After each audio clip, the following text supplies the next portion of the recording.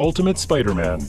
The Crescent Crusaders' next appearance occurs in Season 4 of this animated TV series subtitled Ultimate Spider-Man vs. the Sinister Six. Voiced by Dietrich Bader, Moon Knight appears in the episode The Moon Knight Before Christmas, released in 2016. In it, he helps Spider-Man defeat the future Mysterio by using a special wand taken from the Sanctum Sanctorium. Afterwards, he joins Spider-Man and May Parker for a Christmas dinner. The character's appearance is faithful to the original look of Moon Knight in the comics with a dark suit and a white cowl and cape. The character also has his traditional fighting staff as his main weapon.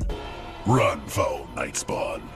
All bend to the might of the moon who powers the very tides of the sea. Doctor Strange is starting to sound downright logical. Marvel's Spider-Man.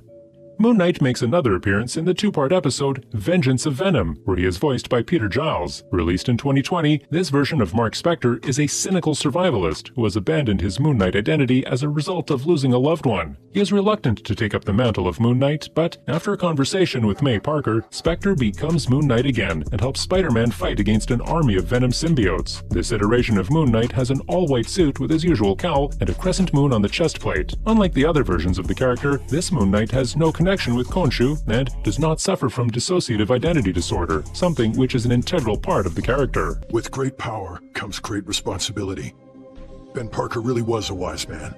If you could lose someone like that and keep fighting, then so can I. Avengers Assemble the first appearance of Moon Knight was in the animated series Avengers Assemble in 2015. We first see an image of him in the episode Avengers World in Season 2 as a candidate for joining the Avengers. Later, Moon Knight makes his full appearance in the episode Beyond, where he is voiced by Gideon Emery. In it, he is guarding an orb on a pyramid and, while being under mind control, fights Iron Man, Captain America, and Black Widow. Eventually, he is freed from the device controlling his mind and helps the heroes in their fight. He is invited to join the Avengers, but declines, preferring to protect the world from the evils inside the pyramid. The character appears as a dark hooded figure with a white cowl, a fighting truncheon, and moon-shaped crescent darts.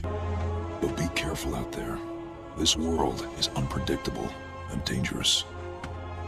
Moon Knight Moon Knight makes his first live-action appearance in the eponymous TV show which started airing in 2022. Starring Oscar Isaac, the series tells the tale of a mild-mannered gift shop employee, Steven Grant, who suffers from dissociative identity disorder and has multiple identities inside him, one of them being the ruthless mercenary Marc Spector. The plot revolves around his struggles with uncovering his own identity and his connection to a mysterious cult led by the enigmatic Arthur Harrow. The contrast between the timid gift shop clerk and the confident and assertive Marc Spector is a source of dramatic tension and one of the defining features of the character. Faithful to the source material, it is the mercenary Marc Spector who is the actual avatar of the Egyptian moon god Khonshu, while Steven Grant is another identity coexisting with Spector. As with the other aspects of the show, the look of Moon Knight is based on the comics version with an all-white costume, cape and cowl, and a crescent logo on his chest. Alright, do it.